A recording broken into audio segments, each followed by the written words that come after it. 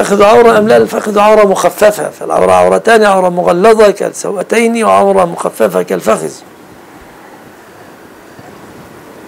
لأن النبي عليه الصلاة والسلام كان حاسرا عن فخذه فدخل أبو بكر فبقي على حاله استأذن عمر فبقي على حاله جاء عثمان يستأذن فغطى رجليه سألته عائشة قال أما أستحي من رجل تستحي منه الملائكة؟